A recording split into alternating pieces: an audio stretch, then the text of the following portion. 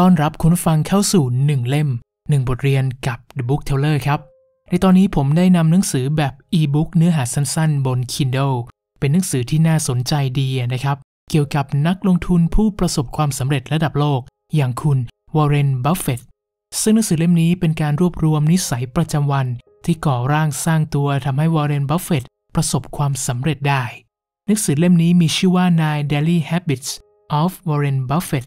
เขียนโดยคุณไอแซคฟอกครับ นิสัยทั้ง 9 อย่างของคุณปู่วอร์เรนบัฟเฟตเป็นนิสัยที่เรียบง่ายดีนะครับ ที่เราก็อาจจะกำลังทำอยู่ก็เป็นได้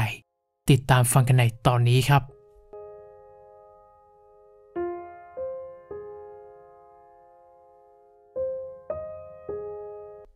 เริ่มที่นิสัยอย่างแรกครับที่คุณปู่วอร์เรนบัฟเฟตเขาทำเป็นประจำก็คือ นิสัยรักการอ่าน บวกกับการฝึกสมอง ด้วยตัวเลข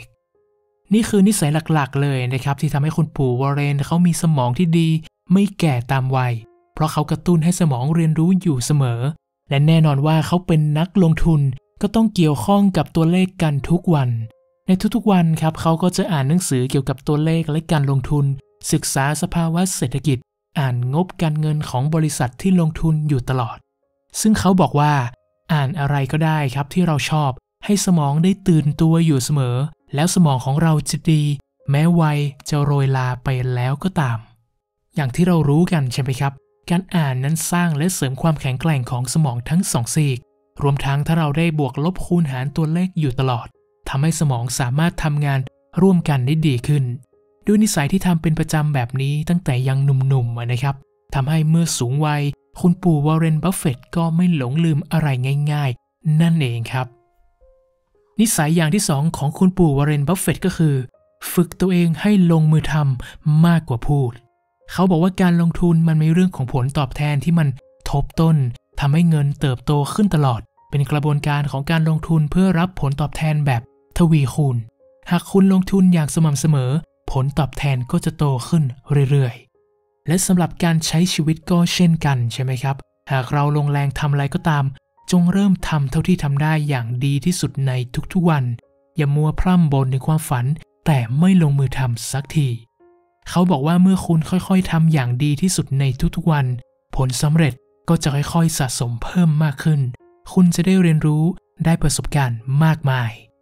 ดังนั้นครับไม่ว่าเราอยากจะทำอะไรก็ตามให้สำเร็จ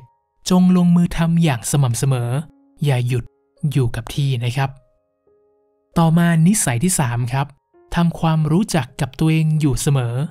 เขาบอกว่าทุกอย่างในชีวิตเกี่ยวกับการทำความเข้าใจจุดแข็งของคุณ เข้าใจจุดอ่อนของคุณ และเข้าใจความเป็นคุณ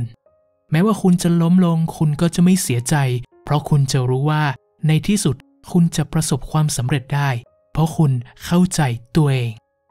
ดังนั้นครับเขาบอกว่า เพื่อทำการค้นหาและความรู้จักกับตัวคุณเอง คุณต้องให้เวลากับตัวเองได้หยุดพัก ท่ามกลางโลกที่วุ่นวาย ท่ามกลางสิ่งเล้าต่างๆ พักเสียงจากคนรอบข้างบ้าง พักแล้วค้นหาตัวเอง ค้นหาความสามารถของคุณแล้วลงมือทำมันซะ เมื่อทุกอย่างลงตัวแล้ว คุณจะพบว่าตัวเองนั้นอยู่บนเส้นทางที่ถูกต้อง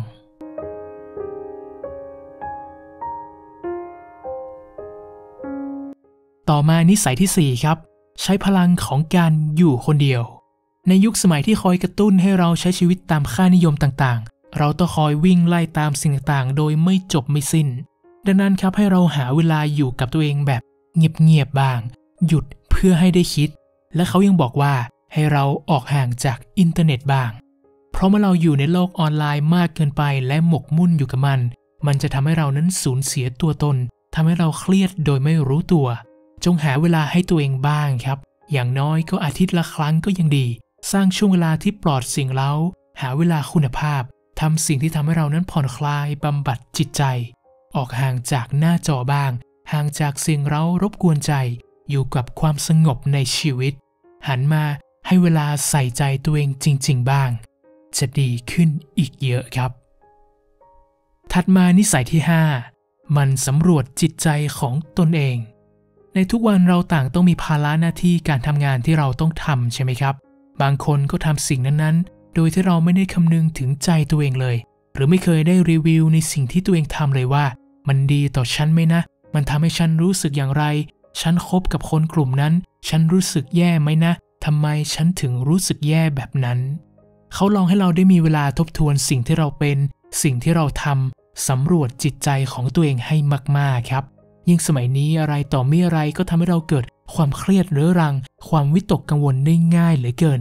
ดังนั้นครับจงสำรวจจิตใจตัวเองอยู่เสมอ จะช่วยลดโอกาสที่เรานั้นจะพาตัวเองไปจมอยู่กับสิ่งที่เราไม่ชอบ และทำให้เรานั้นหาทางหลุดพ้นมันได้ และมันยังลดโอกาสการซึมเศร้าของเราได้อีกด้วย และหากเราได้สำรวจชีวิตของเราแล้วครับ ต่อมาก็เป็นนิสัยอย่างที่ 6 นั่นก็คือทำสิ่งที่คุณรัก หรือดีต่อใจของคุณ เมื่อเราได้สำรวจตัวเองเป็นประจำ เราก็จะรู้แล้วว่า สิ่งที่เราทำตอนนี้ที่เราเป็นอยู่ มันดีต่อใจมากแค่ไหน ซึ่งหากสิ่งที่เราทำอยู่ สิ่งที่เราเป็นอยู่มันไม่ดี มันจะมีทางใดอีกบ้าง ที่เราสามารถทำมันได้ เพราะถ้าหากเราต้องอยู่กับสิ่งที่มันบั่นทอนจิตใจทำให้เรารู้สึกแย่ไปทุกๆวัน มันอาจจะส่งผลเสียทางจิตใจของเราในระยะยาวได้ มันจึงทำให้คนเรานั้นมักป่วยเป็นโรคซึมเศร้า วิตกกังวลใจไม่มีความสุขกับชีวิต ดังนั้นครับ หาอะไรทำในสิ่งที่เหมาะกับเรา เหมาะกับความสามารถของเรา อะไรก็ได้ที่มันสามารถทำให้เรานั้น ใช้สกิล ใช้ทักษะ ความสามารถของเราให้เกิดประโยชน์ เราอาจจะลองผนวกสิ่งที่เรารัก และทำมันให้เป็นประโยชน์ต่อผู้อื่นดูนะครับ มันจะช่วยเราได้มากเลยทีเดียว เขาบอกว่าให้เรานั้นหาเวลาได้ทดลองทำสิ่งเหล่านี้ ให้เรานั้นค่อยๆ สร้างทางที่ใช่ของเราขึ้นมา ให้เวลากับตัวเอง ใจดีกับตัวเองนะครับ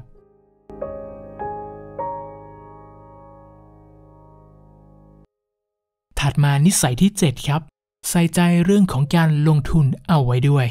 คุณวอร์เรนบัฟเฟตเขาบอกว่า คนเราเวลามีเงินให้ใช้ เราก็จะมักใช้จ่ายโดยไม่ยั้งคิด เราไม่ได้คิดถึงเมื่อยามที่เราไม่มีกันเลย ใครบอกว่าเงินไม่สำคัญ เงินก็มีส่วนสำคัญในการดำรงชีวิตปัจจุบัน ดังนั้นจงใส่ใจเรื่องการเก็บลงทุนเอาไว้ด้วย ซึ่งคุณปู่เขาก็แนะนำการลงทุนในพันธบัตรรัฐบาล กองทุนรวมหรือหุ้น เพราะพวกนี้ครับเราสามารถศึกษามันและทำความเข้าใจกับมันได้ มันศึกษาเรื่องการลงทุนเอาไว้ด้วย ยิ่งใครอายุยังน้อยๆครับ ก็ยิ่งควรต้องใส่ใจ เพราะระยะเวลาที่เงินลงทุนของคุณจะงอกเงยนั้นยังอีกยาวไกล มันสะสมเงินลงทุนอย่าเพิ่งก่อนหนี้บริโภคมากเกินไป ที่ต้องซื้อของนั่นนี่มาอวดคนอื่นในสังคม เริ่มทีละเล็กทีละน้อยครับ พอเวลาผ่านไป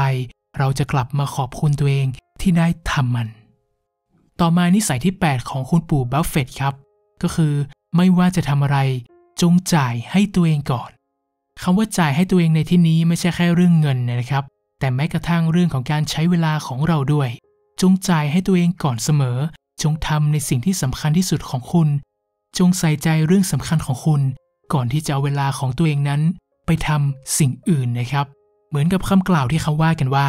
จงช่วยเหลือตัวเองให้ได้ก่อน ที่จะไปช่วยเหลือใคร และนิสัยที่ 8 ครับ จึงนำมาสู่นิสัยที่ 9 นี้ก็คือ รู้จักจัดลำดับความสำคัญ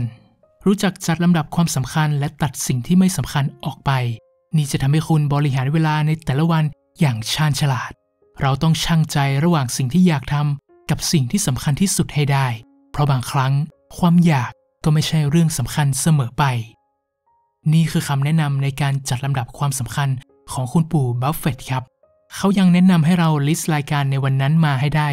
25 รายการครับ เขียนมันออกมาให้หมด อะไรที่เราอยากจะทำที่เราคิดถึงมันในหัว ที่จะทำในวันนี้ เขียนมันให้หมดครับ และขั้นตอนต่อมาให้เราคัดว่า อันไหนสำคัญมากที่สุด 5 อันดับแรก และขั้นตอนที่ 3 ครับเมื่อได้ 5 รายการที่สำคัญที่สุดแล้ว ก็ทิ้งรายการที่เหลืออีก 20 รายการไปซะ และเขาก็ให้เหตุผลว่าสิ่งที่เราไม่ได้เลือกครับ แสดงว่ามันไม่ได้สำคัญจริง ๆสำหรับวันนั้น วิธีนี้เราก็อาจจะเอาไปปรับใช้ตามความเหมาะสมตามสไตล์ของเราได้นะครับ ก่อนจบในตอนนี้ก็ขอสรุปให้ฟังกันอีกครั้งครับเก้านิสัยที่คุณปู่วอร์เรนบัฟเฟตทำเป็นประจำและก็ทำตลอดมา นิสัยที่ 1 นิสัยรักการอ่าน บวกกับการฝึกสมองด้วยตัวเลข 2. active ตัวเองด้วยการลงมือทำทุกวัน 3. ทำความรู้จักกับตัวเองอยู่เสมอ 4. ใช้พลังของการอยู่คนเดียว 5. หมั่นสำรวจจิตใจของตนเอง 6. ทำในสิ่งที่คุณรัก หรือดีต่อใจของคุณ 7. ใส่ใจเรื่องการลงทุนเอาไว้ด้วย 8. ไม่ว่าจะทำอะไรก็ตาม จงจ่ายให้ตัวเองก่อน และนิสัยที่ 9 ครับ รู้จักจัดลำดับความสำคัญ หวังว่าบทเรียนดีๆของตอนนี้จะเป็นประโยชน์ให้กับคุณผู้ฟังนะครับ ชอบตอนนี้ผมขอฝากกดไลค์ กดแชร์ กดสนับสนุน เข้ามาคอมเมนต์เป็นกำลังใจให้กันได้นะครับ และอย่าลืมกดติดตาม กดแจ้งเตือนเอาไว้ เพื่อไม่ให้พลาดสาระดีๆ จาก The Book Teller นะครับ แล้วพบกับ 1 เล่ม 1 บทเรียนได้ใหม่ในครั้งหน้า สวัสดีครับ